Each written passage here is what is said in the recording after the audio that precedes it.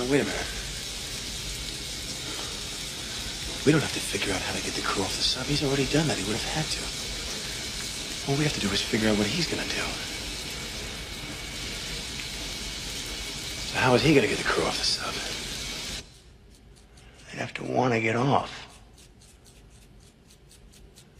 How do you get a crew to want to get off a submarine? How do you get a crew to want to get off a nuclear sub?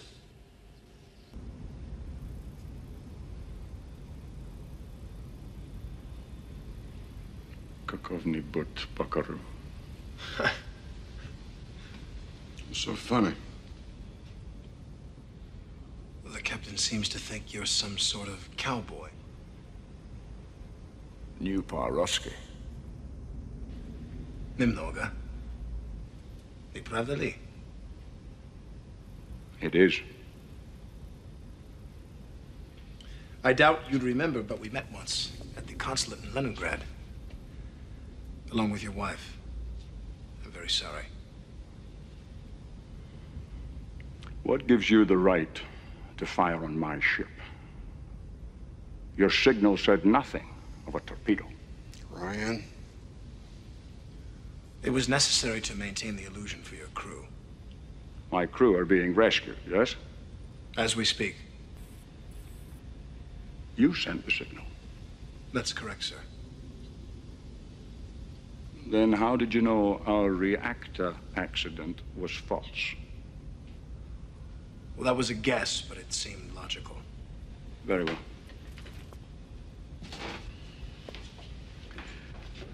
I present you the ballistic missile submarine Red October.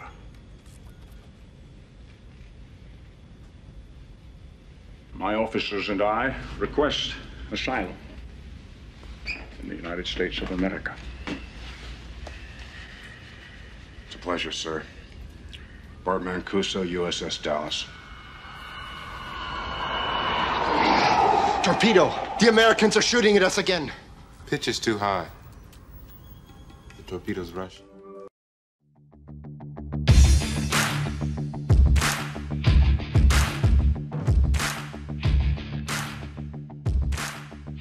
Welcome to the broadcast. And I wanted to actually get in um, Suzi Dent and have a conversation. And it's probably a difficult conversation for a lot of people. Now, um, I'll introduce Suzi, and she can she can do a talk and go through it. Um, but I would like to have a discussion with you, Suzi, afterwards, and we'll we'll talk about some questions and some some of the tough issues that you've probably got before, um, and then we're looking at getting some questions from the students and people on social media after that there too. Okay, so I'll hand over to Suzi. I'll introduce you to Suzi Dent. Welcome, Suzi. Hi, hi everyone. Thanks, Brett. Thank you so much for having me. I'm so pleased to be here. I'm going to talk to you tonight um, about. I've written this speech, right? So this is the first time I'm talking to anybody about it. So I'm going to, going to read it. I don't know it off by heart. And it took me a long time to figure out what I wanted to say about my journey um, involving the Me Too movement. So here we go. I like to call it um, Kind is not a four letter word. Our lives are all about choices. From the moment we wake, when we choose whether to hop straight out of bed or reach for the remote, we choose what we're going to do and where based on our activity of the day. We also choose how we feel about ourselves and other people. We're quick to choose and make snap decisions that we're mostly unaware of, as it's part of our day to day. Let's say you've got a hard choice to make, one that could impact your life significantly. It's a will I or won't I situation, one that involves you coming forward to give important information to authorities about an unpleasant experience you had in support of a total stranger. Every time you think you've settled on what to do, the other choice tugs you back and you're back to where you started. It's a draw. Should you make a pro and con list, seek advice from friends and family, post in a chat room, or should you trust your gut? Our lives are created by our thoughts, our words, and our actions. We worry about the consequences of our actions and how they will affect us. We fear how our choices will be received. We fear judgment from others, and sometimes that is enough to make our decision for us. So we tend to stay in our lane and not get involved. We base many of our opinions on issues from what we read online or absorb via media stories, where we find judgment and negativity, which often taps into our anger, leading to self righteousness. There is a growing trend in the addictive world of social media to say whatever you think, regardless of how it makes others feel, showing a distinct lack of compassion and kindness. Picture this you're in a beautiful park with lots of green grass at a children's playground, sitting by yourself on one of the three benches that are shaded by big leafy trees. There are three other women on the other benches, aged in their late 20s to mid 30s, two prams, five kids from three to nine playing on the swings and stuff, having a great time.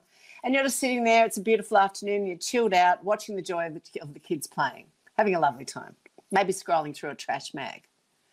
An elderly man shuffles along the path towards the women in their prams, where a gorgeous two year old happily sits. Old mate leans down with a smile to touch the child on the head, happily reminded of his great grandchild. Get away, screams one. Don't touch my child, you pedophile, yells another mother, calling for their kids and scrambling their things together to get away from this man. Old mate stands there, dazed and confused as to what has just happened. As the three women leave the park, the nine year old turns and screams, You're a pedophile. Now, it turns out that old mate has just reached stage three dementia and had started wandering in the afternoons. He wasn't quite sure where he was, still had his dressing gown on, and didn't remember how he got there. Poppy was an awesome dad to his five kids, nine grandchildren, and three great grandchildren. But at 80, He'd become increasingly forgetful and disorientated. He stands there before you, upset and confused, a frail old man who needs scenario. What was your go to choice? Many of us with older parents, more experienced with aging humans, would have used compassion and kindness first, as they can relate to this sort of situation in their own families. A generational juxtaposition of learned behaviour is happening in our lives between those raised before the internet and social media began and those raised with it. The obsession with self and the dissemination of information through social media channels sees us witnessing moments of self righteous anger online with full on slanging matches between people that don't even know each other, inciting others to get involved and to take sides, giving them permission to be judgmental and angry, causing a viral wave of negativity. Compassion is losing and it's being replaced by unempathetic suspicion, fear, and judgment of others. We all have things, sometimes awful things that happen to us in our lives that shape our past and the people that, I mean, that are part of our past and shape the people that we are today, giving us our mindset towards certain issues and situations in life that we find ourselves in. A model of healing is not about forgetting at what's happened to you, but is looking at, at but it, it's looking at what has happened and saying that it will never defeat me. Going through life looking backwards for guidance to who you were and what you did will not bring you healing. We must make a choice to not pass on our suffering, but what we have learnt from it. Turn our woes into wisdom, into wisdom. Shakespeare's Hamlet says, We create a paradise or hell in our own minds by how we choose to think. There is nothing either good or bad, but thinking makes it so. By making it a habit to practice a new attitude of self reflection, we can foster a new feeling or overcome an intense emotion like anger. When we choose not to have preconceived ideas like a bias or a point of view and exert our free will, we expand our options and it moves us towards a truer view of the world. Kindness, caring, and a willingness to help others is a positive emotion that has to do with being thoughtful and decent. Compassion improves your health by strengthening your immune system, normalizing your blood pressure, lowering your stress and depression, improving your physical recovery from illness, and even extending your life. I know, right? Compassion is a natural instinct within us all, but it's stifled when we lack mindfulness. Compassion is the embodiment of the realization that what benefits the authentic, well-being of others also benefits ourselves. We have reached a time in our collective consciousness where historical sex crimes are now being brought to light. Starting with the entertainment industry in Australia, the UK, and America, since 2014, we have all been following aghast as some of our favourite children's entertainers, like Rolf Harris and Bill Cosby, among others, have been accused and found guilty of terrible crimes. Living lives of superstardom and riches and placed in high regard in society, we invited these men into our homes via their G rated TV shows and watched them on TV as kids. We shared them with our families as we got older. We trusted them. We loved them. In 2014, I had a choice to make, one that could impact my life significantly. It was a will I, won't I situation. I was at home one night and watching a woman being interviewed on TV about taking Rolf Harris to court for being uh, for molesting her when she was a little girl.